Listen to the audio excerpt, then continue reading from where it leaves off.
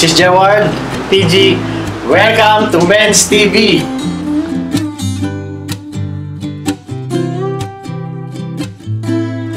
Ang gagawin natin ngayon ay product review ng dry box. ah, na ginagamit sa pag-store ng electronic devices gaya ng camera na ginagamit ng mga photographers and vloggers at iba pang electronic devices na nangangailangan ng mababang humidity level.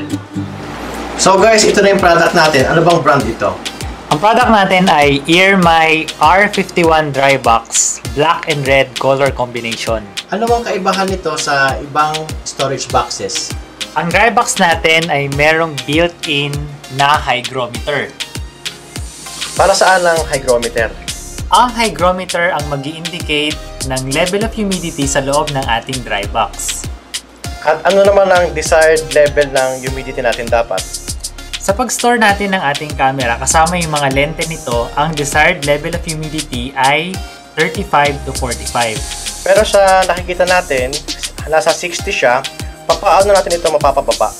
Para mapababa natin ang level of humidity sa loob ng ating dry box, gumagamit tayo ng tinatawag nating desiccants or in silica gel. Buksan na natin ang dry box para malaman natin kung ano ang nasa loob.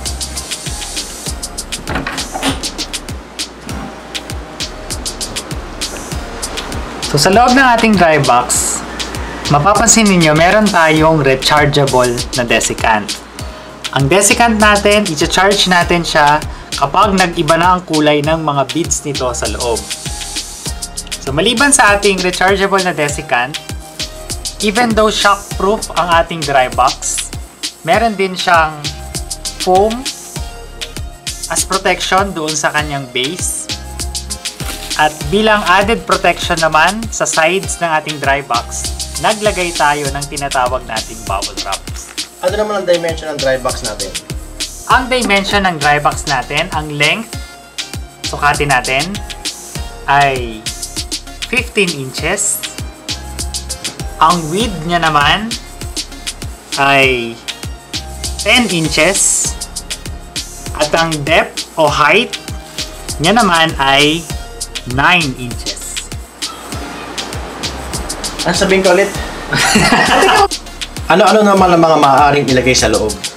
Per product specification, kayang mag-hold ng dry box natin ng isang DSLR camera at anim na lente.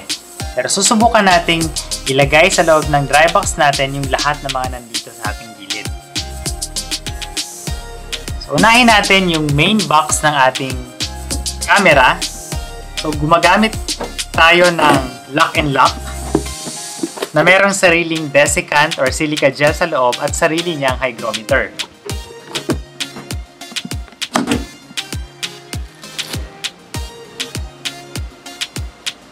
Ilalagay din natin sa loob yung original box ng ating camera.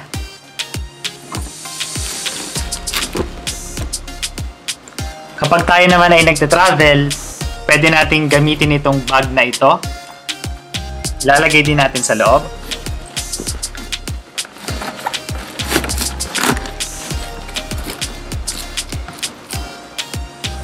Ang box naman ng ating lens, pwede rin nating ilagay sa loob.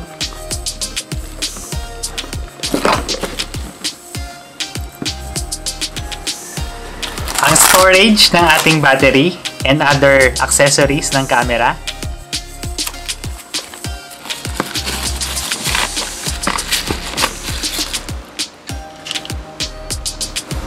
Ang USB charger ng ating battery.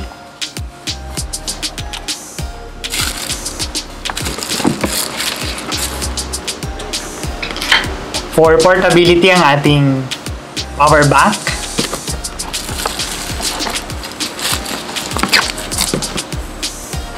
Meron din tayong mini tripod.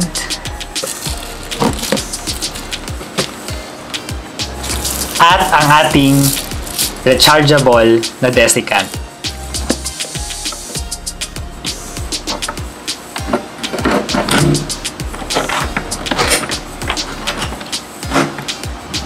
Ano-ano pa ang additional information ng dry box na ito? So, ang dry box natin for security purposes, meron siyang lagayan ng dalawang padlock sa harapan. For For comfortability naman, meron siyang lagayan ng strap sa gilid. So, ang ginawa natin, naglagay tayo, nag-install tayo ng tinatawag nating shoulder strap para hindi tayo mahirapang buhatin o dalhin yung ating dry box. Saan naman at magkano natin nabili ang dry box? So, nabili natin yung dry box natin sa Shopee sa halagang 3,500 plus shipping. Bakit naman natin na may recommend sa kanila itong dry box na ito? So, alam natin kung gaano kamahal yung ating mga camera at yung ating mga lente. So, maiging mag-invest tayo sa isang dry box para lalo nating maingatan yung ating mga gamit. Sana may natutuhan kayo sa video na ito para sa mga gusto bumili ng dry box. Kung may katanungan pa kayo, feel free to comment. At sa mga hindi pa nakakapag-subscribe, mag-subscribe na kayo para ma-notify kayo sa aming mga susunod na video. At sa mga dati namin subscriber, salamat na marami.